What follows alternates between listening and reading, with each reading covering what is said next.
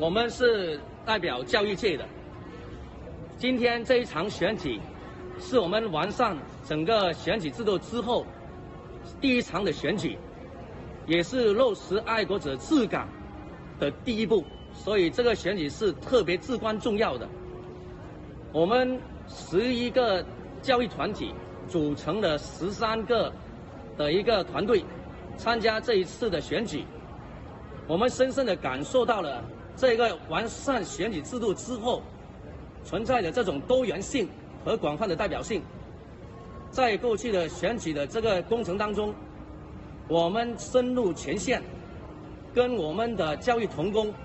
有充分的沟通，收集很多的意见，这个可以说是以前从没有试过的，所以我们非常的希望各个代表学校的授权的代表人，能够在今天这个投票重要的日子出来投票，来展示我们交易界的团结、团结和凝聚力。希望大家能够更早的时间出来投票支持，谢谢。